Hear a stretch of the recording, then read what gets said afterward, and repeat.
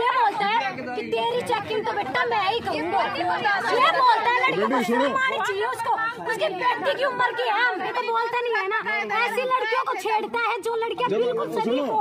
ना कुछ बोलती हो। और बोलना ही है ना तेरे को तो हिम्मत वाली लड़की को बोल तेरा मुँह वही तोड़ देगी। वो हम सारी समझते हैं पर आप भी उनको समझाओ। भी एक बात बोल देते हैं कि तेरी वजह से हमारी इज़्ज़त खराब होगी। यही तो और सबसे मेन बात वो खुद बोल देता है कि कोर्ट के चक्कर लगाना तेरी ज़िंदगी बर्बाद है तेरी शादी कहीं नहीं होगी फेल हो जाएगी एग्ज़ाम में। इस वजह से लड़के डर के बैठती है। आप तो मुकदमा लड़ रहे हो।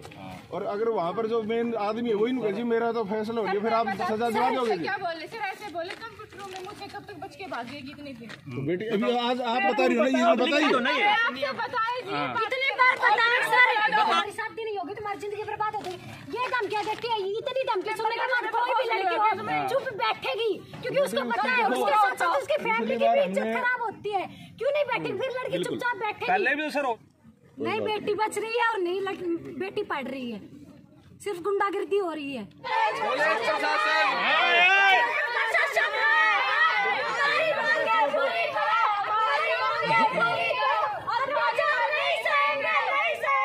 एक मिनट एक बता दो एक एक एक बिल्कुल हम आपके साथ हैं प्राचार्य जी आपसे कुछ कहना चाह रहे हैं। एक मिनट उनकी सुन लो। क्या सुने सर? इतने दिन से चल रहा है सर आपने कोई एक्शन लिया इसके खिलाफ। लिया है। कितने दिन से? नहीं अभी क्या है? आज से पहले भी हो चुका आगे फिर हो जाएगा। सर पहले हो गया सर।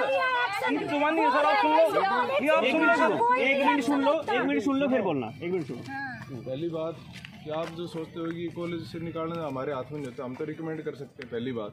नंबर दो जो ही इक्कीस तारीख को इन्होंने शिकायत दी लड़कियों को तुरंत प्रभाव से पहले तो उनको एग्ज़ाम ड्यूटी से हटा दिया गया। उसी समय जो एक प्रोसीजर है जो बना हुआ है यूजीसी के द्वारा गाइडलाइन उसी समय कमेटी के नाम मार्क कर दिया। कमेटी ने तेईस बाईस को संडे था तेईस से ही कमेटी ने अपनी जाँच शुरू कर दी है। और जब तक कमेटी की जाँच पूरी नहीं हो जाती हम उसका कोई एक्शन उन पर नहीं ले सकते पहली बात। हाँ हम जो ही कमेटी सौंपेगी हम तुरंत रिकमेंड करेंगे डिपार्टमेंट इनका लड़कियों के महाविद्यालय में जो है इनका यहाँ पर स्टे बिल्कुल अनुचित है और इस तरह की तो और बताओ इससे ज़्यादा एक्शन क्या है? कमेटी अब अपनी जाँच कर रही है। कल मैडम ने बुलाई थी दो लड़कियाँ तो उसमें एक ही आई जो दूसरी शिकायत करता है वो आई नहीं अभी तक। उसको बार बार फ़ोन कर रहे हैं वो स्विच ऑफ़ कर लेती है। देता है वो सर।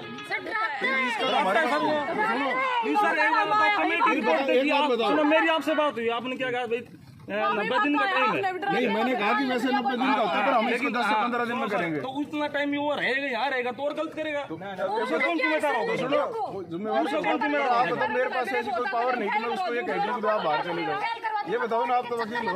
तुम्हारी शादी नहीं होगी तुम्हारी ज़िंदगी बर्बाद हो जाएगी ये धमकियाँ देती है इतनी धमकी सुनने के बाद कोई भी लड़की हो चुप बैठेगी क्योंकि उसको पता है उसके साथ साथ उसकी फैमिली की भी इज़्ज़त खराब होती है। क्यों नहीं बैठे फिर लड़की चुपचाप बैठे पहले भी सर हो चुका है पहले क्या एक्शन लिया पहले क्या एक्शन लिया हो है हो पहले भी बता रहे आज की बात ठीक है आज हम तो चुप बैठे देखो, कल को हमारे साथ सर देखो नहीं रिटर्न में रिटर्न में कंप्लेन आएगी रिटर्न में कंप्लेन आएगी बेटे रिटर्न में कंप्लेन आएगी तो होगी वो पता है डेफिनेटली कार्रवाई होगी। आप निश्चित आपकी सेफ्टी सिक्योरिटी कॉलेज के लिए सबसे इम्पोर्टेंट है। ही नहीं होगी वो कोई बयान ही नहीं देगी वो वापस खींच लेगी तो आप और हम क्या कर सकेंगे? ये बताओ आप। अब ये बताओ ना जैसे मान लो आप तो मुकदमा लड़ रहे हो और अगर वहाँ पर जो मेन आदमी है वही नहीं जी मेरा तो फैसला हो गया फिर आप सजा दिला दोगे क्या? बोले? सर ऐसे बोले कंप्यूटर रूम में मुझसे कब तक बच के भागेगी इतनी देर? तो बेटी अभी आज आप बता रही हो ना ये बताइए। बार बताएँ सर। और लड़कियों को चेकिंग एक बार बताओ। सबसे मेन बात सर हमारे एग्ज़ाम होते हैं चेकिंग के लिए बोलते हैं कि लड़कियों की चेकिंग करना। हमें लेडीज़ चाहिए ना जेंट्स क्यों? लड़कियों का कि ये बोलता है तेरी चेकिंग तो बेटा मैं ही करूँगा। ये बोलता है लड़कियों को बेटी, सुनो। शर्म आनी चाहिए उसको। उसकी बेटी की उम्र की है। बेटी आप जब ये इतनी बातें आप बता रही हो आज तक रिटर्न में दिया आपने किसी ने? तब पता अब चली है ना सर। है।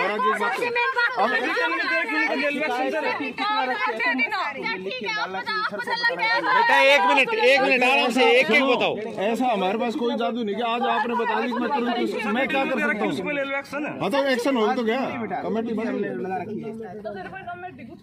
हम उनको सरकार है लगाती है,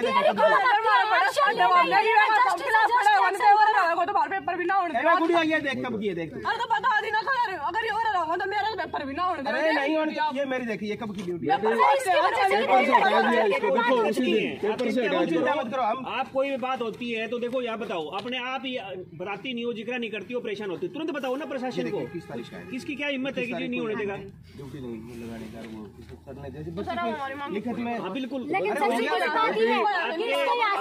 है सीआईडी वाली पुलिस वाली सब कुछ होगा तो इसको यहाँ से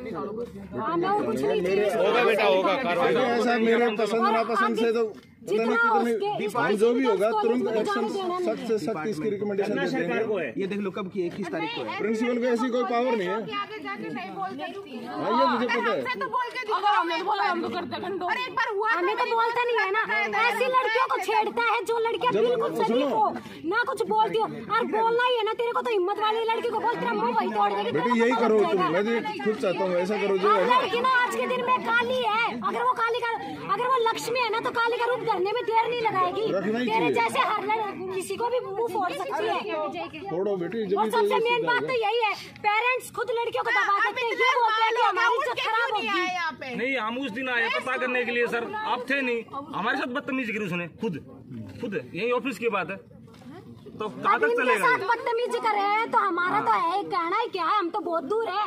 हम लोगों को तो वो समझेगा ही क्या। गुरु का एक रूप होता है सम्मान लेकिन उसने तो गुरु का तो तो गुरु का नाम खराब कर दिया सर। कार्रवाई होगी गुरु सारा नाम का काम कोई होगा। देखो टाइम तो लगता है ये एक सेकंड में तो कुछ होता हो रहा कार्रवाई ज़रूर होगी आप ये मान के चलो कि जल्दी से जल्दी वो इसको बेटी कह दिया है, कह दिया है, आप कल आपकी सहेली में से एक आई दूसरी को मैडम ने पंद्रह फ़ोन किए हैं बाकायदा आप उसके घर चिट्ठी भेजेंगे। अब मान लो उसको पकड़ के तो हम ला नहीं सकते बेटी।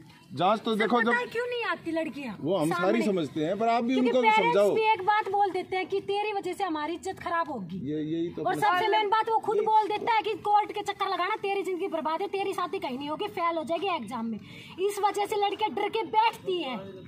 सबसे मेन बात यही है लड़की की क्योंकि वो अपने पेरेंट्स की इज़्ज़त को बचाना चाहती है लड़कियाँ। एक सुनो मेरी तरफ़ से तो जो लेटर है वो आज ही मैं आपको बताना चाहता चला गया है। लेकिन हाँ कमेटी की रिपोर्ट आएगी उसके बाद वो मैं साथ रखा के और भेजूँगा को देखो। तो सर अब उसको कॉलेज में तो एंट्री है पेपर तो चार तारीख तक है कॉलेज चल रहे औरों के तो चल रहे। हैं। बेटी बचाओ बेटी पढ़ाओ के नारे लगाते तो क्या बेटी पढ़ ले आके बताओ आप क्या बेटी को बचा ले क्या बेटी पढ़ाओ का नारा लगे हैं नहीं बेटी बच रही है और नहीं लग- बेटी पढ़ रही है। सिर्फ़ गुंडागिर्दी हो रही है। कोई बात ना बेटा यही तो सर एक वो है ना? वो सबको आप लोगों को करना आखिर में जो है हमारे हाथ में तो रिकमेंड कर सकते हो कर चुके हैं उन्होंने प्रिंसिपल सर के सामने बकायदा सॉरी मांगे हाथ जोड़े पर उसके बाद कुछ भी नहीं हुआ। उस टाइम मैं भी वही थी। बेटे आप लोगों ने जो मैडम ज्योति और करण सिंह जी थे उन्होंने लिखित में आपने बोले जो हमने इनको माफ़ कर दिया। आप लोगों ने लिख के दिया था ना? उसके बाद बताओ मैं क्या करूँगा चार दिन बाद तुम कहते हो भी हमारे वो हो गया।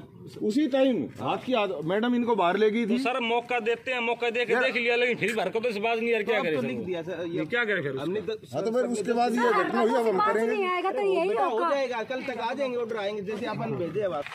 सर, जिस प्रकार से आज छात्राओं ने प्रदर्शन किया है, एक अध्यापक के खिलाफ क्या कहना चाहेंगे? ऐसा था जी कि इक्कीस तारीख को दो छात्राओं ने हमारे पास आकर उनके खिलाफ शिकायत दी तो तुरंत प्रभाव से हमने सबसे पहले तो उनकी एग्ज़ाम ड्यूटी क्योंकि वो परीक्षा संबंधित कोई शिकायत थी कि भाई परीक्षा में वो हमें कुछ नकल वगैरह को हटाने के लिए कुछ प्रलोभन वगैरह, कुछ ऐसी बातें उन्होंने बताई थी बच्चों ने कि बदतमीजी की तो तुरंत प्रभाव से हमने उनको एग्ज़ाम ड्यूटी से हटा दिया गया। और मामला तुरंत जो एंटी सेक्सुअल हरेसमेंट कमेटी है, जो यूजीसी की गाइडलाइंस के अनुसार जो बनी हुई है, उसको मामला सौंप दिया गया। उनकी चेयरपर्सन मैडम कविता रानी जी हैं, बाकी सीनियर मेंबर्स हैं महेंद्र सिंह जी मैडम किरण और एक लीगल एडवाइजर के रूप में इन्होंने मनोरमा यादव एडवोकेट को भी बुला रखा है। एक हमारे स्टूडेंट प्रतिनिधि भी उसमें हैं। और दो तो तेईस तारीख से ही उन्होंने अपनी कार्रवाई शुरू कर दी है।